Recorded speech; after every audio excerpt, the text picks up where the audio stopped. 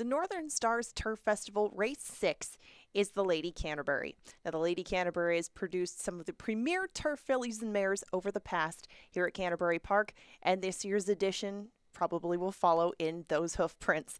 Now, defending champion She Can't Sing is going to be your favorite in this year's edition, and deservedly so, off a fourth place finish when we last saw her at the fairgrounds.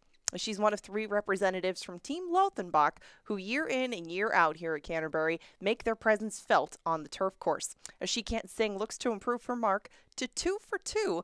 And again, she did this off a fourth place finish behind a very classy mare who has won four of her first five starts in North America and really ran behind some fillies who would take a ton of money in this spot, even in the 10 horse full field that it drew for this year's edition of the Lady Canterbury. She can't sing, as well as local uh, representative and stablemate Midnight Current look like they might be two forces to be reckoned with in this year's edition of the Lady Canterbury. But whatever the outcome, this is a classy bunch that's come together for this year's year's edition, and it'll make an excellent, excellent part of that all turf pick five on Northern Stars Turf Festival night. Good luck. We'll see you Wednesday at 5.